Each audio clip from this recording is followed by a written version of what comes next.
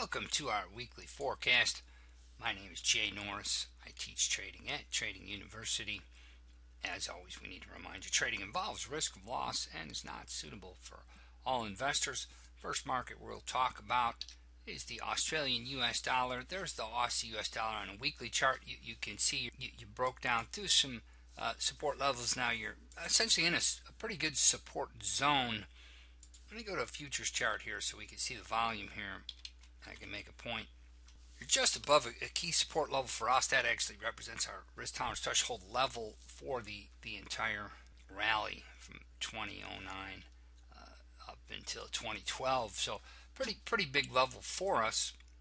Definitely, you definitely have to get ready to start dollar cost averaging this market. We feel, but not until you start to see smaller candles on the daily chart, uh, lower levels of volume. We think that this market, we think this behavior over the last week uh, definitely uh, favors climactic behavior. We love seeing climactic behavior into significant long-term support. On the other hand, we have to sit back and, and truly wait for a, a change of momentum there, a change of direction on that level just because it's support. We're not going to rush right out and buy it, but that's going to be worth watching. Look for smaller ranges, smaller volume. Uh, I think it's uh, safe to stick your toe back in the water here in the Aussie as far as dollar cost averaging a cash position on, on a longer term time frame. This this is all essentially static analysis, looking at a chart and talking about what, what may or may happen. Um, this is probably a good time to segue in to show you our performance of our, our short term signals, our benchmark for the month of January. And the advantage of, of going short term is you can apply both static analysis and dynamic analysis as far as taking advantage of what's happening in the markets right now. Here's our benchmark performance for the majors.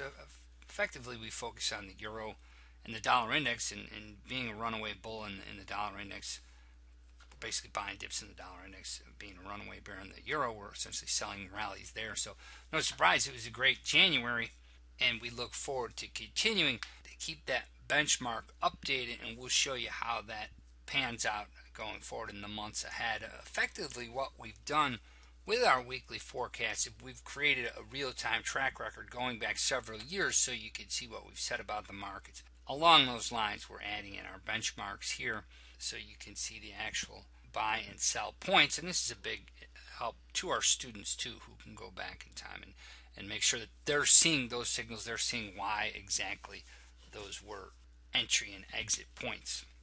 So there's a lot going on on those shorter term levels that we don't always see on the higher time frames. Next market, the Swiss franc.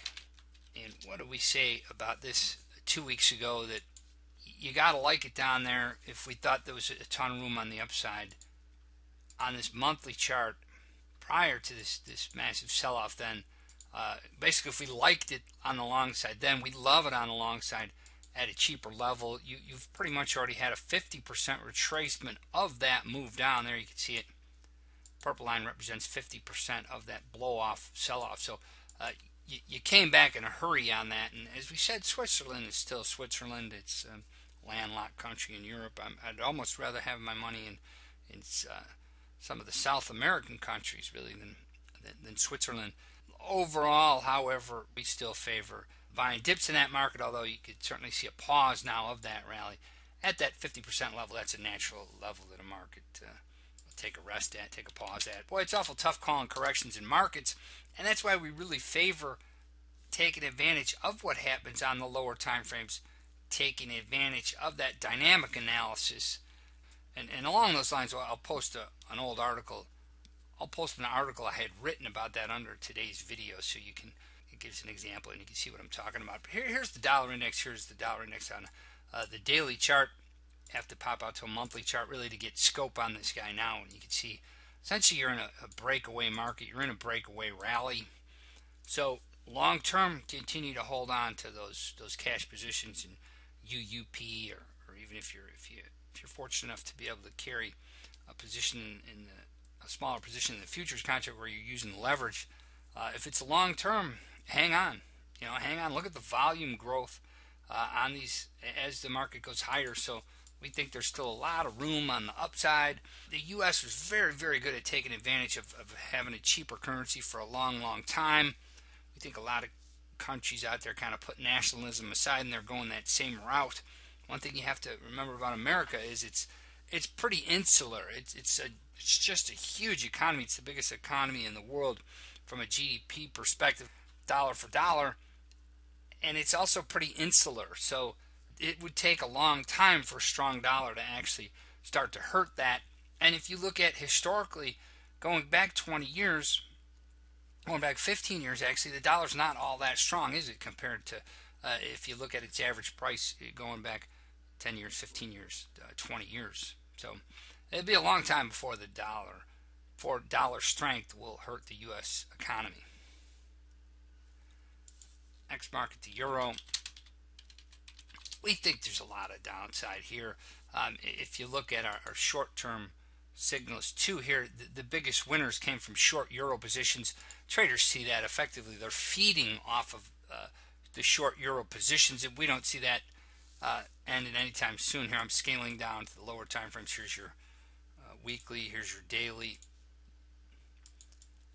And you know, if anything, right now it's it's pointed lower again too, and you continue to see volume spikes on the downside. So we think there's plenty of room down below. What do we see? 110, uh, 110, then par overall, and, and I think that's a that's an apt analysis for the euro. So we still think a lot of lot of room below.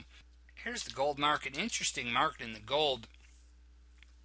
Let me pop it all the way out to the the monthly to get perspective, and, and you can see that market found support at a Gann line and a trend line longer term. Uh, however, as you drop down to the lower time frames, you're seeing resistance uh, just above in the form of a, a, RTT level there, sell zone there, and you can see the market respected it. Also, you got a big trend line there too. Drop down to a, a daily chart, and you'll see it got right up to it. Tried to poke its head above there, didn't get very far. Then uh, you, you, came down hard last week. Thursday, you put in the big down day. Then you, you retraced. Uh, eh, maybe you traced half of that. It looks like the, the entire move on Friday. Uh, so gold, an interesting one here. Uh, what do we say last week? You know, hey, if, if you can, you're in a position, take take that short position. Uh, use the advantage of leverage and getting short that market because you had a very well defined uh, favorable risk reward at those higher levels. So we st still think that's the case if you can get short gold of around 1300 with a stop just above those highs. Oh, I don't know uh, would have stopped 13, 15 or so. We still think that's not a bad way to go. Overall, pop out to weekly, gold is still in a pattern of uh, lower highs, lower highs, lower highs. And it, it, it, hasn't, it's done pretty well in the face of a, a growing U.S. economy and a stronger dollar. Gold could certainly be a lot weaker uh, for sure. Uh, well, over the last year or so, you see it's it's definitely weak when you, you go back a couple of years. But uh, yeah, hey, I got to give it to gold. It held up pretty good in the face of a runaway dollar rally lately. However, now it's at a level where if it's uh, it's definitely questionable, and uh, we we actually like uh, selling rallies on, on in gold on the short term there. Next market we'll cover be the Japanese yen, and we've pretty much called off the dogs as far as uh, long dollar yen positions here. Uh, that's the short term chart here. Let me go out to a weekly, and you'll see that the market, you know, it's hitting. Well, let me pan all the way out to a monthly. It's hitting uh, long-term resistance. We think it's paused in there, and, and that's probably pretty normal.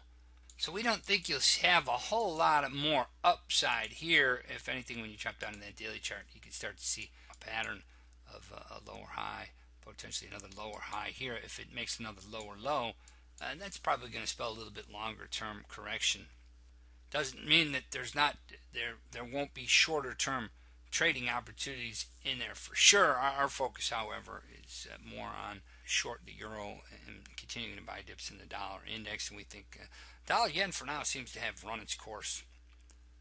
Hey, let's take a look at the crude oil market, and then we'll wrap it up. Crude oil finally had a short covering blip there, about a uh, two and a half, three dollar rally, pretty good rally not necessarily on high volume either. Finally, you get a, a bit of a dead cat bounce here. Let's go to monthly chart. We definitely feel you could start dollar cost averaging this market on the long side.